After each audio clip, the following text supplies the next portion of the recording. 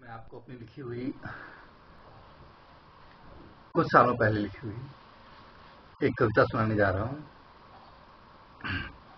इसका शीर्षक है, प्रियतमा। सुने। प्रियतमा मेरी, तू आना। जब जीवन मोती टूटे बिखरे दर्पण के टुकड़ों से। बीता हर पल जब फूटे। प्रियतमा, मेरी तू आना। अनुरागी मन को प्रिय मेरे। अनुराग नहीं मिल पाया।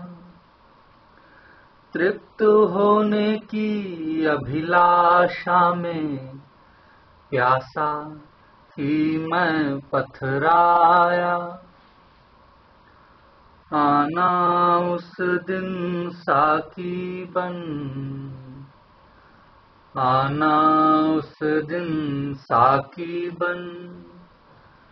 जब जीवन प्याला टूटे प्रियतमा मेरी तू आना।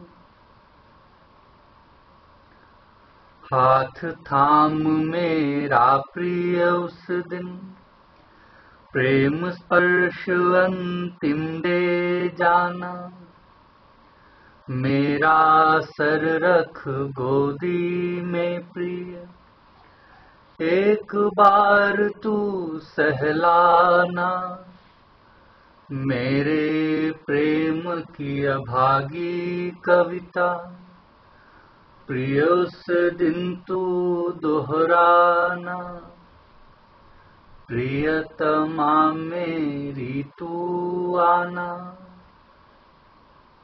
धन्यवाद।